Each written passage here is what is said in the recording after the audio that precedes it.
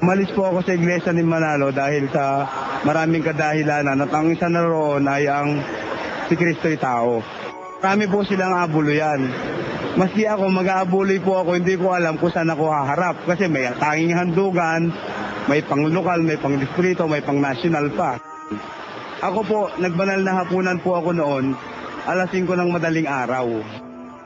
Aral ng Iglesia ni Cristo, ang pagkaalam silang tama. Pero nung bandang uli, nung nagsisiyasat ako, nalaman ko na ang aral ng Iglesia ni Cristo, pawang ma, wa- hindi puro mali.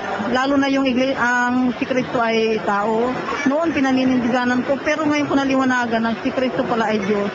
Dito ko natagpuan, nandito ang Panginoon Diyos sa relihiyong ito. ako sa Iglesia ni Cristo Manalo. Dahil sa nakikita ko parang hindi totoo mga tinuturo nila. Ang totoo niya, sa dalawang taong pagiging iglesia ko, hindi ako nakokontento. Meron akong mga tinatanong. Katulad, meron ministro na titribot sa na titiso sa akin eh. Pag tinatanong ko, wala sila sinasagot. Paano paniwala na hindi maliligtas pag hindi kasama sa iglesia? Ang tanong nga sa kanila, buhat ng mga teoliko ng iglesia hanggang sa bagong bitaw. Kawawan mga namatay. At sa ano, inis na yun ako, galit-galit ako eh. Pero ang banda uli, nakikita ko, yung mga tinatanong ko sa iglesia, nakikita ko tinasagot niya. Lahat ng nakatulungan ko, nasagot niya lahat. Kasi ko, eto, totoo, dito ako lilipat. Umalis pa ako sa Iglesia ni Cristo dahil mali-mali po yung aral nila doon. Wala pa akong natutunan doon eh. Kahit ang tagal-tagal ko na roon, wala pa akong natutunan doon. Iglesia ni Cristo eh, puro baliktad naman ang aral doon eh, puro mga kalukuhan lang. Puro lang sila paninira. Ay sumama ako sa samahan ni Brother Eli dahil dito na naniniwala ko na si Brother Eli ang tunay na sugo sa kanya ko nakikita yung mga katotohanan at saka yung tunay na aral. Umalis po ako sa Iglesia ni Cristo dahil sa mga natuklasan ko mga maling aral po na narinig ko naman na itinuro ni Brad Eli. At saka ako mismo po ang nakasaksi. Nababasa ko sa Biblia lahat ng baligtad na turo nila. Ah, narinig ko kay Kabularan, sinasabi niya na baligtad daw ang isip ni Brad Eli. Eh, sila ang baligtad ang isip eh. Nababa, na nakikita sa kanilang mga turo eh, dahil yung hapunan, banal na hapunan, ginawang umaga, baligtad. Eh, ang Panginoong Yesus po eh, tagalangit, ginawa nilang tao na tagalupa. At si Manalo na tagalupa, ginawa nilang anghel na ginawang tagalangit. Kaya baligtad po ang mga aral nila. Umalis po ako sa Iglesia ni Cristo dahil po nakita ko po yung mga maling aral nila doon. Na si Brother Eli ay isang tapat na mga mangangaral. Kahit ano pong ibati ko sa kanya, dito po ako dahil dati po akong bulag na ngayon nakakakita na po. Kung ano man po yung mga binabati ko sa kanya, wala pong katotohanan yun. Dito ko po nakita na talagang napakabait ni Brother Eli. Nalaman ko po na mali yung yung aral ng Iglesia ni Manalo. Nung napakinggan ko po yung aral na tinuturo ni Brother Eli. Brother Eli po ay tinuturo niya yung yung tama, yung lahat ng nasusulat sa Biblia. Wala po siyang minamali. Talaga po pag yung nasulat, yun ang sasabihin niya. Umalis ako dyan sa Iglesia ni Cristo dahil napatunayan ko na isa sa mga aral nila ay nanloloko sila ng tao.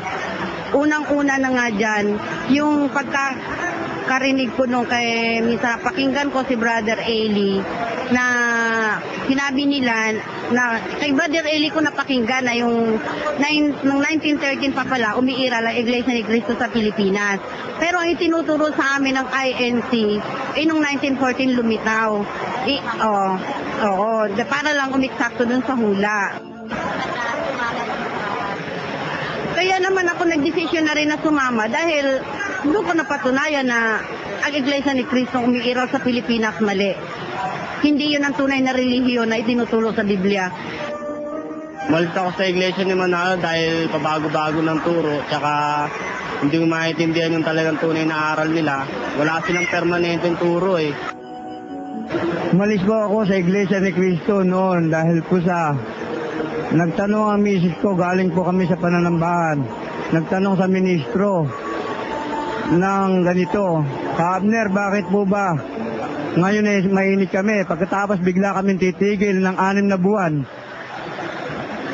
At pagkatapos ng anim na buwan, bigla kami sasamba. At pagkatapos ng pagsamba namin na yun, yung sa teksto, nadinig na rin, nadinig na rin namin yung mga ite-teksto. Nagalit po yung ministro sa misis ko. Ako po eh, ang kaluluwa ko po ay nagutom. Umalis po ako sa Iglesia ni Cristo. Doon po sa sa verse na Amos 8.11, doon po nagutom ang aking kaluluwa, kaya po ako ay naghanap ng iba. Salamat na nga lang po sa Diyos at ako ay nakasumpong ng katotohanan. Salamat po sa isang mga ngaral na tapat na nagngangalang eh, Eliseo Soriano. Salamat po ng marami. Ang inyo pong napanood ay maliwanag na katibayan lamang na hindi totoo ang mga sinasabi ng mga ministro ni Manalo na kumakaunti na raw ang mga miyembro ng samahang ito. Bagkus ay kabaliktaran dahil sa kanilang mga mali at weirdong doktrina na nalantad sa masa, marami sa kanilang miyembro ang lumipat sa samahang ito kung saan sila ay nakasumpong ng dalisay na aral ng Diyos. Dito rin sa samahang ito sila nakahanap ng isang tapat na mangaral at tunay na sa Diyos. Nagtataglay ng bibig na pinagmumulan ng karunungang galing sa Diyos sa katauhan ni Brother Eli Soriano. Kaya't inaanyayahan po namin kayong ipagpatuloy ang inyong pagsusuri at pagsubaybay sa programang ito. Lagi po nating tandaan na dapat tayong maging matalino at bukas ang isipan, lalong-lalo na sa mga bagay ng pananampalataya upang hindi tayo mapaglalangan ng mga pastor na bulaan. Muli, ito po si Brother Danny Navales, nagsasabing magandang gabi hanggang sa susunod po nating pagtatanghal ng Wirdong Doktrina.